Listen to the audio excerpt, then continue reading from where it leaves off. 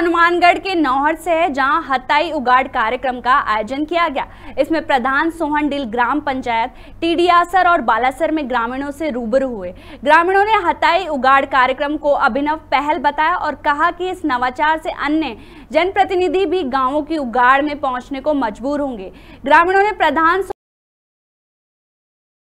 संबंधित मांगे रखी। जिन पर प्रधान डील ने लाइब्रेरी, कक्षा, कक्ष, खेल मैदान और सामग्री सहित विभिन्न विकास कार्यों का वादा किया।